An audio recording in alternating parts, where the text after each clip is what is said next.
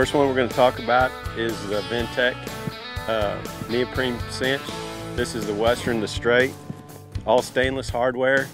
Um, the big difference in what Professional's Choice does than everybody else out on the market does is the neoprene that we use is a limestone based neoprene. Everybody out else in the market uses petroleum based. What happens with the petroleum base in the sunshine is it gets hot spots or dry spots in it. With the limestone base, you don't get that, so you always have 100% stretch and 100% memory to this product. The other thing that Professional's Choice does with the VenTech is you can see the holes in here. It helps that cinch breathe. It's a little cooler on that horse.